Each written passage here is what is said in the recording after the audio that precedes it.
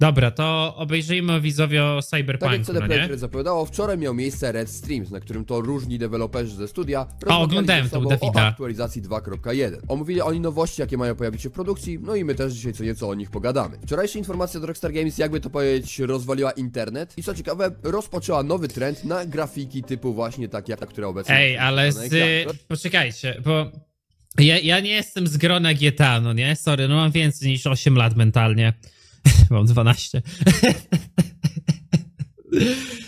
Czy cała burza nie jest wokół tego, że ludzie się jarają, że zapowiedzą nowe GTA i to jest teraz giga ważne, nie? To jest giga ważne, że nie można mówić, że to jest GTA 6. Ludzie są bardzo czepiarscy, że a bo ty nie wiesz, czy to będzie GTA 6, bo to może będzie nowe GTA z inną nazwą, no nie? Ale Rockstar zrobił zapowiedź dnia, w którym pokaże jakąś zapowiedź, tak? To już do tego dochodzi, już po prostu się nie dropi trailera, tylko się robi zapowiedź zapowiedzi i napisali na Twitterze, że coś rzucą, tak? I tyle. E, i jak na razie nie wiadomo, co rzucą, nie wiadomo o co chodzi. Nie wiadomo, ile to będzie kosztowało. A kto wie, może na przykład zapowiedzą GTA Mobile. Yes. Dodatkowo w sieci pojawi się pierwszy zwiastun Jezu, jest- nie, naprawdę. Żeby świat płonął, ja chcę zobaczyć, że oni zapowiedzą grę mobilną. Serio. Naprawdę nie mogę się tego doczekać. Pine, który został osadzony w klimatach filmów Gun Fu. A także powiem co nieco też o Everywhere, ponieważ pojawił się wątek zamkniętej alfy. Subskrybujcie kanał i zaczynajmy. W trakcie transmisji Paweł Sasko, czyli główny projektant zadań w grze i Metro wraca, nie? kumpel, którego spotkałem na PGA, pozdrawiam. Monika Janowska, Ty, on jest taki duży, ten ziomek z Lootboxa? Taki wysoki? Czy Paweł jest taki niski? Ale wielki jest przy nim, bez kitu. Wygląda jak jego starszy brat, no nie? na PGA, pozdrawiam. Monika Janowska, producentka. Amelia Kołat oraz Alicja Kozera, starsze menadżerki do spraw kontaktów ze społecznością, omówiły nowości, które właśnie zostaną wprowadzone w ramach patcha, a cały zapis możemy obejrzeć na oficjalnym Twitchu CD Projekt Red. Bez zbędnego przedłużania na starcie chyba powiem, że najbardziej interesującą tutaj informacją jest Metro, które nareszcie ma zostać wprowadzone do gry. A to nie było w modach? Chociażby na oficjalnej stronie twórców. Ej, kurde, Cyberpunk, on serio, Enka. mi się bardzo podoba, jak on wygląda. dzięki liniom metra Night City Area Rapid Transport. Przestańcie przejmować się korkami i podziwiajcie widoki dzięki pięciu liniom metra zatrzymujących się na 19 A to jest naziemne metro, nie? jedynie po otrzymaniu wiadomości tekstowej od N-Card. Mapa prezentuje się w następujący sposób. Jedna linia metra rozpoczyna od Pacyfiki, a kończy na Mega Building H7. Druga zaczyna od stadionu, a kończy na Memorial Parku. Jeszcze inna rozpoczyna na Eisenhower Street, a kończy na Charter Hillu. Także jeśli będziecie chcieli dostać się do jakiejkolwiek lokacji, Ludzie bardzo to chcieli mieć tam się pod swojej udać. wersji gry, nie? Bo było w trailerach. Wątek przenośnego radia, który również, tak jak i Metro, podoba mi się. Krótko mówiąc, będzie to radioport, który pozwoli wysłać radia przemierzając Night City pieszo lub metrem. Ma być w nim regulowana głośność i wy Szczep stary do głowy z radiem, jak stary lobo. Odpalasz sobie me heavy metal i zabijasz. Łączy się wyłącznie w istotnych momentach, na przykład podczas rozmów. Dodatkowo w walkach będziecie mogli nawet podgłosić świetna sobie, zmiana aby nawalanka wrogów była jeszcze lepsza. Następne na naszej liście są ulepszone walki z bossami. Dodaliśmy szereg ulepszeń do walki z bossami, między innymi do Ej, walki z z Adamem Smasherem. Ja, jak ja przychodziłem pierwszy raz na streamie Cyberpunka w dzień premiery, pamiętacie to? Ja go po prostu zaklikałem w 3 sekundy mieczem i on się nie ruszył nawet. Adamem Smasherem. Będzie ona teraz znacznie bardziej bezwzględna i ikoniczna, a sam Smasher będzie się lepiej dostosowywać do tak Ogólnie, to ja wam powiem tak, może to jest niepopularne, a może to jest popularne u mnie na streamie. Każda gra zyska na dobrej walce z bossami. Nie ma nic ważniejszego w grach komputerowych niż wytworzenie w graczu odpowiedniej emocji, która go przywiąże do, te, do danego momentu. Nie ma nic ważniejszego. To jest tak giga istotne moim zdaniem. Musisz graczowi dać po prostu takie emocje, które on zapamięta na zawsze. Czy on zapamięta, jak zabije Adama Smashera tak po prostu? Nie. A jak go będzie dymał dwie godziny, Adam Smasher i go nie będzie po- potrafił zabić? Oczywiście, że to zapamięta. Odpadną najsłabsi i bardzo dobrze. Graczy i używać Sandevistana, tak jak w Cyberpunku Edge Runner. Powiem wam szczerze, że jest to bardzo dobre rozwiązanie, ponieważ ja sam pamiętam moją walkę z Adamem Smasherem, która trwała Ty, ale poczekajcie, bo dużo się mówiło w ogóle o tym, nie? Że jak wyjdzie Cyberpunk, w sensie jak wyjdzie dodatek, to że to będzie finalny dodatek do Cyberpunka, już raczej nic nie będzie można po nim oczekiwać, a zobaczcie, że CD Projekt cały czas tą gierkę gdzieś próbuje łatać i dodaje jakiś kontencik i inne tego typu rzeczy, no nie? Więc kurwa, gigapropsy. Widzowie, jak tak dalej pójdzie, wiadomo, że to nie są jakieś ogromne patche teraz, no nie? I że ten dodatek jest jeden i że nie będzie drugiego, ale jak oni będą tak serio cyklicznie nam co kwartał, co pół roku dodawać jakiś dodatek, przy okazji naprawiając połowę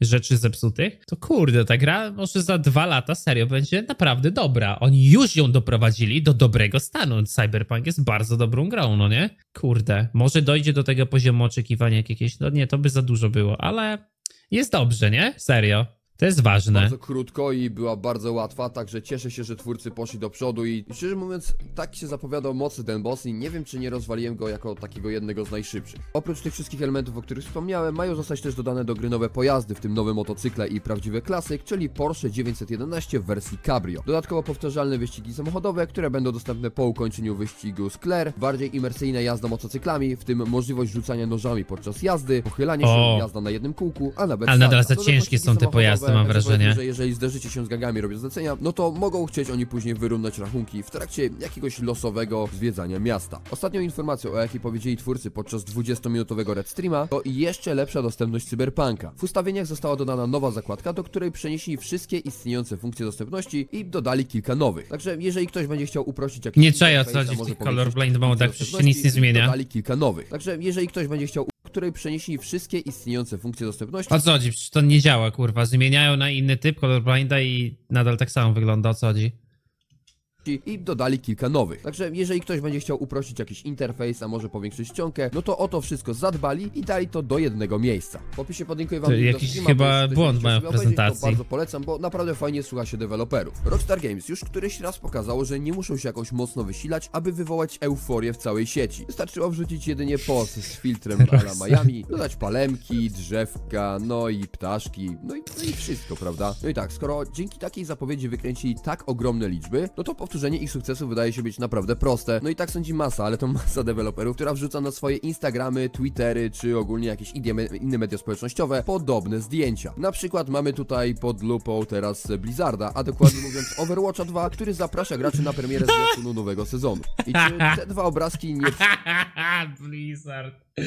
Jak nisko upadliście, że musicie kopiować już po prostu. Aha. Przypominają wam może czegoś? Mamy na środku wszystko ładnie rozpisane. Overwatch, sezon 8 trailer, Dis December 5, palemki są, oczywiście taki filtr a la Miami, czego chcieć więcej. Ale spokojnie, to jest jedynie wierzchołek góry lodowej, ponieważ później wylało się masa, ale to masa bardzo podobnych postów. Przykładowo pod lupę możemy wziąć Halo Infinity, gdzie twórcy, Czemu? Czemu ktokolwiek w marketingu wpadł na to, że to jest dobry pomysł, stary, jak to nawet nie pasuje do twojego, yy, do twojej wizji gry? Chyba też bardzo się zainspirowali postem GTA 6. Mamy tutaj piękny filtr, taki ala właśnie Miami, o którym cały Nie, czas mówię. straszne Jeden tanizna. umiejscowione napisy w tym samym miejscu, a także logo. Szczerze mówiąc, rozgadywać się można na wiele różnych sposobów, ponieważ Diado Samba zrobiła naprawdę Jezu, to jest i- post. W sumie- przyklejone w ogóle. Moment, oni zrobili naprawdę taki sam post, poczekajcie. Ty, oni zrobili dokładnie to samo zdjęcie, tylko że po prostu lekko je przycięli. Patrzcie na to. Ja pierdzielę. Mamy też Fall Guys, którzy również wykorzystali schemat umiejscowienia tekstu. Rotten Ridge, whatever it takes. Tutaj również no, sytuacja w sumie podobna. Filtr Miami w tym samym miejscu. Brakuje palem i wody i ptaków, no ale to wciąż to samo. Ogólnie poczytałem sobie trochę komentarzy na ten temat i ludzie dzielą się na dwa obozy. Pierwsi to osoby, które tłumaczą się, że nie macie sobie tego samego co Rockstar, po prostu przestańcie te działanie i już siedźcie cicho. Inni to osoby, które mówią, że naprawdę bardzo fajny trend się z tego wykreował i dobrze, że coś takiego powstało. Aczkolwiek, no wiadomo, troszeczkę jest to odgapienie. Zakładam, że w przeciągu najbliższych godzin pojawi się znacznie więcej tego typu postów, także należy śledzić internet i zobaczymy, co z tego będzie. Jeszcze w ramach takiej ciekawostki dodam, że 5 grudnia będziemy oglądać trailer GTA 6 na naszym kanale na żywo i co ciekawe, powstało O, nawet wydarzenie. o której jest godzinie? wam je do opisu. I jeżeli nie będziecie chcieli przegapić tak dużego wydarzenia, to najlepiej kliknijcie sobie powiadom mnie, abyście po prostu otrzymali powiadomienie godzinkę wcześniej i po prostu być gotowym na to widowisko. Spine, o którym powiedziałem na początku materiału, to nastawiona na fabułę produkcja single player, która skupia się na Dobra. strzelaniu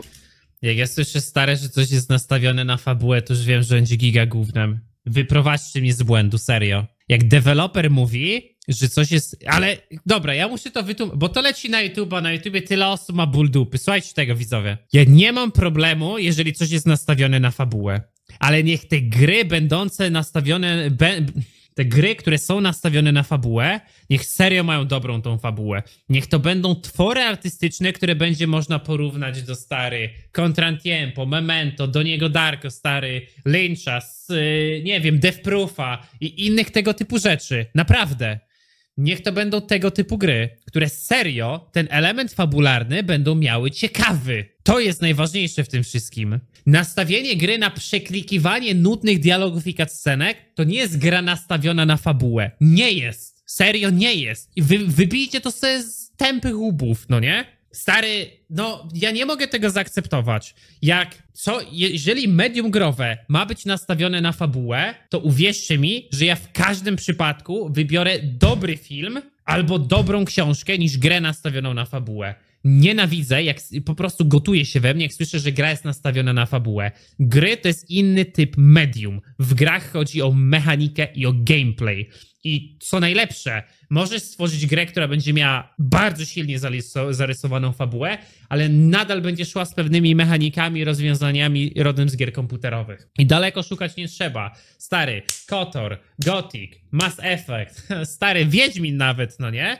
Czy cokolwiek stary, co będzie od ciebie wymagało jakiegokolwiek gameplayu. Można to zrobić, słuchajcie. RDR 2 też stary, można podać. Nie wiem, ja nie grałem, no nie? Ale no, niestety teraz to nazywanie y, swoich tworów, że to jest twór nastawiony na fabułę, to jest najtańszy sposób ucieczki od tego, żeby stworzyć grę, która jakkolwiek jest, w jakikolwiek sposób jest dobra mechanicznie, nie? I jest utrzymana w klimacie filmów Gun Fu. Twórcy czerpią garściami z takich projektów jak John Wick oraz Atomic Blonde, a podczas rozgrywki mamy poczuć się jak prawdziwy bohater filmu akcji. Gra przedstawia historię cyberpunkowego świata, rozgrywającego się w niedalekiej przyszłości. Czy słyszeliście wiadomość, że Tensor AI przekształcił... Stary, Gra mówi, że jest nastawiona na fabułę, po czym czerpie z filmów akcji, takich kurwa podłych dla Amerykanów, nie? Nie wiem, może jestem jakimś totalnym odklejeńcem, hipsterem stary, który widzi jakąś większą dozę kultury, ale no. Nie wiem, to co ja teraz zobaczyłem, to ja nie widzę tutaj żadnego ciekawego elementu fabularnego. Przecież to będzie teen drama kolejna pewnie. To miasto dosłownie raj na ziemi, a może wolisz słuchać szeptów opozycji? Dołącz do walk na ulicach to, to, to wygląda widzowie jak mega, to wygląda jak mega dobrze nastawione na fabuły stary yy, gra, no nie? Giga. Ja, jestem już kupiony od razu, nie? Potężnych frakcji, szukając osobistej zemsty na systemie. Środowiska i sytuacje, w których spotykasz swoich wrogów, inspirowane są naszą nieskończoną miłością do filmów akcji. Gameplay co prawda za długie nie jest, ponieważ trwa minutę, a Ej, nie wiem jak wy, ja gardzę filmami akcji. Nienawidzę filmów akcji. To jest najpodlejszy typ rozgrywki, rozrywki dla stary 50-letnich Amerykanów z brzuchem takim wywalonym, co siedzą przed telewizorem, oglądają szklaną pułapkę. Gardzę tym. Serio, gardzę.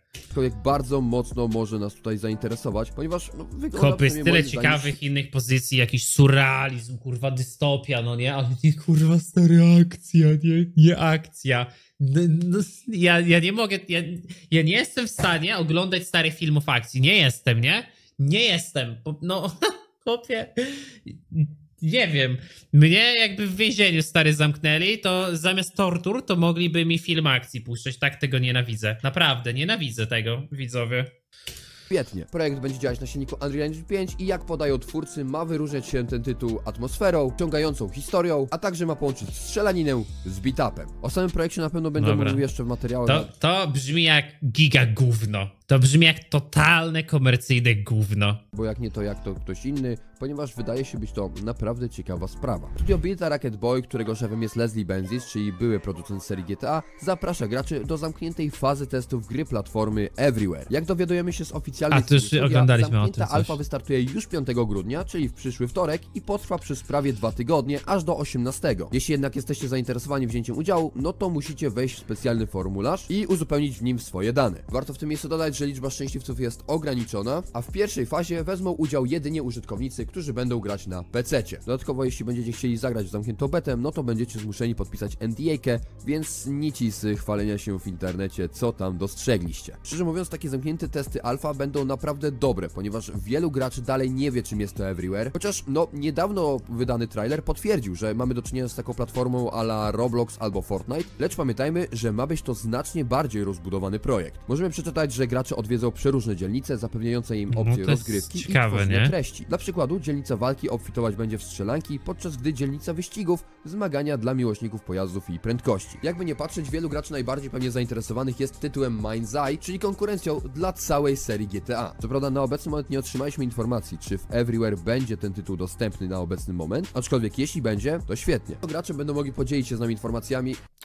no nie, no nie podzielą się informacjami, bo podpisali NDA. Jeśli jednak będziecie brać udział w Everywhere, no to pamiętajcie, że jest to w ogóle system check i to tak naprawdę będzie pierwsze wpuszczenie takiej dużej ilości graczy na serwery. Sam złożę formularz i zobaczymy, czy się dostanę. Jak się dostanę, no to będę się naprawdę bardzo cieszył. Dzięki za oglądanie materiału. Do jutra. Essa, Essa, Essa. No i koktajl informacji mu ulubiony.